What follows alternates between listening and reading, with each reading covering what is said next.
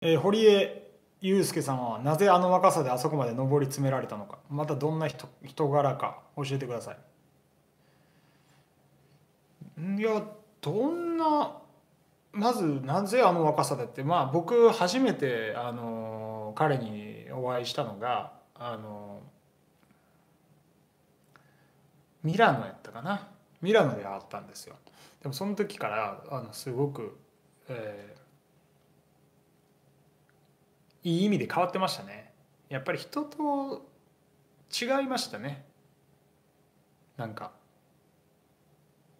その時に思った印象としてはやっぱりすごく上出た。あのなんとか成功したいっていうその結果を出したいっていう気持ちがやっぱ人とは比べ物にならなかったような印象を当時覚えてますね。まあ、それが彼の今今今のところの成果でありっていうかでも全然多分本人も含めて満足してないと思いますよむしろ危機感とか感じてんじゃないですかね。うん